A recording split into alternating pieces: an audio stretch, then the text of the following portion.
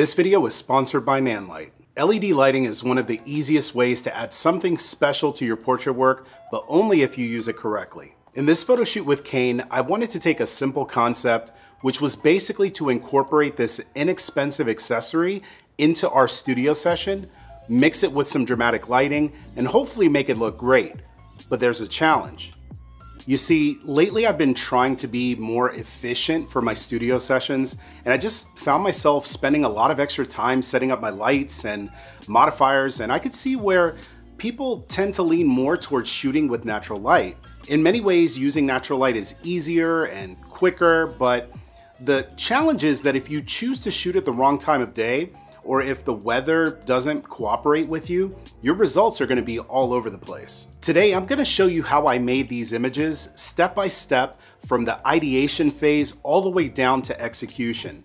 There's some cool tricks here that I think anyone can learn from, and hopefully it will jumpstart some of your own creativity. Also, if you're a fan of portrait photography and you want to explore new ideas that you could use for your own work, don't forget to subscribe to the channel and leave a like on this video. I've got some of my best videos in the oven cooking right now that you won't want to miss. For this shoot, I decided to break out my 4-foot Nanlite PavoTubes and use them to bring this idea that I had in my head to life. With Kain modeling for me here and an awesome team that brought this gold choker necklace, I was thinking of making a shot that looked ultra luxurious. That was my first instinct, so I wanted to give her skin a gold sheen that just made her look like a golden goddess. In my mind, I was thinking of Charlize Theron in those Dior ads, but with a few tweaks to kind of just make it my own. I set those two four foot PavoTubes behind her to a warm golden color to create this edge light on her arms and her face. The nice thing about using LED lighting here is that you could see with your own eyes how the lighting is impacting your subject.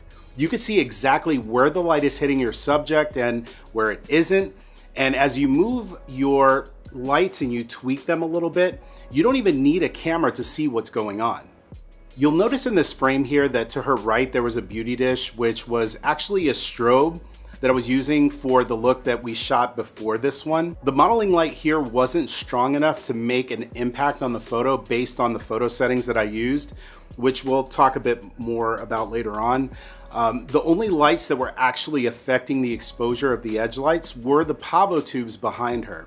If you want to learn more about that concept, I have a complete video about it that I'll link for you in the description of this video. Now for the main light, I wanted to try a modifier that I have never used for a portrait session, and after this, I will definitely use it again. This weird looking softbox is called a lantern, and as you might imagine, it's going to give you a soft light, but with the design of it, it's going to spread light all over the place. In my mind, this wasn't going to be a good modifier for this type of work, but you never know unless you try it out. I talk about this a lot in my workshops, and it's a big point that I want you to take from this video. There's a huge difference between being what I call a theoretical photographer and actually being an experienced one. You see, in theory, a light modifier like this is probably the worst one that you could choose from it's not a focused and controlled type of lighting, especially if you compare it to using something like an Octabox.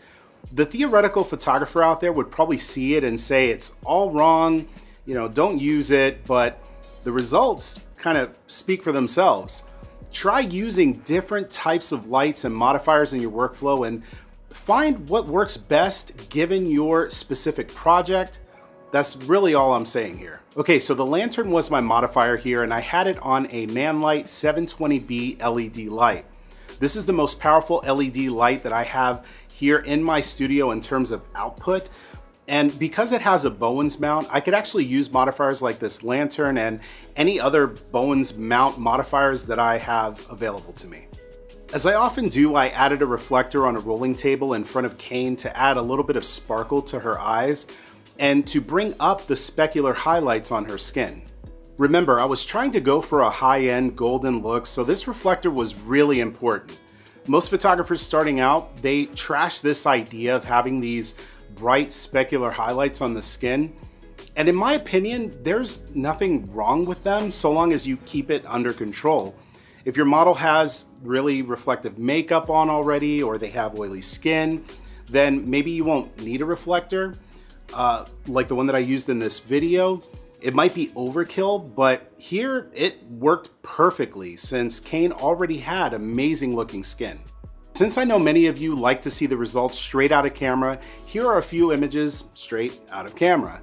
I used the Sony Alpha 7R5 for these along with one of my favorite lenses for studio photography, the 70 to 200 f2.8 G Master version 2. Most of the shots I ended up taking were anywhere between 135 to 170 millimeters. Here are the final images that I actually ended up delivering fully retouched. There's one more important thing to talk about, but before that, I should probably mention how clutch my black V-flats were here. If you ever need a black background, using a V-flat makes setup and teardown happen really quickly. The most important thing I could tell you to get great results in your portrait work actually boils down to five key tips. I made a video all about it that you could watch right now. Click the video that you see here on the screen, and I'll see you there.